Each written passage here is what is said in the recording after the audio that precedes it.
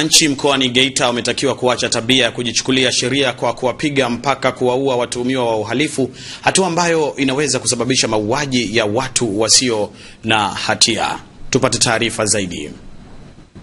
Wito huo umetolewa na familia ya Bwana Marwa Petro mwenye umri wa miaka 22, mkazi wa mtaa wa Uwanja, kata ya Kalangalala, wilayani Geita, aliyeuawa juzi kwa kupigwa na wananchi kwa kile kinachodaiwa kuwa alikuwa ni mwizi.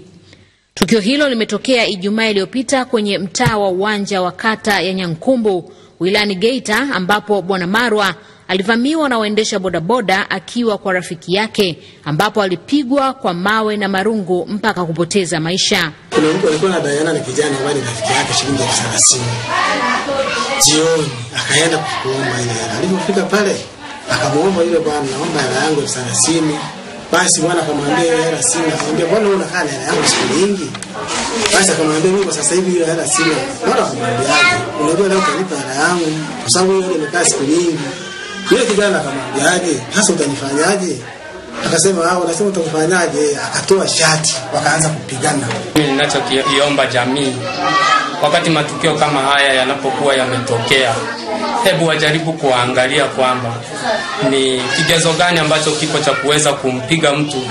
Alipokuja kukatalia huko Isaka, tukawa nampigia simu, anasema takuja lini? Anasema mimi nitakuja siku yoyote. Sikujua hata siku ambayo amefika huko Geita.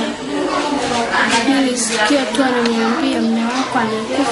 Mwenyekiti wa mtaa huo Joseph Msoma amelaani kitendo hicho cha kikatili na kuwataka wananchi kuacha tabia ya kujichukulia sheria mkononi, ambapo amesisitiza kwamba kufanya hivyo ni makosa.